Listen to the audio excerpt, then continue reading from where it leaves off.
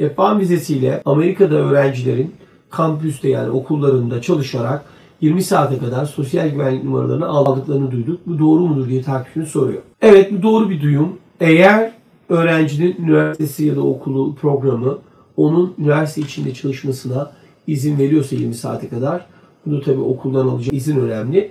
O izinle beraber kendisi sosyal güvenlik ofisinden sosyal güvenlik numarasını alıp kampüste, üniversitesinde de okulunda çalışabilecektir diye bu takipçimizin sorusunu cevaplamış olalım.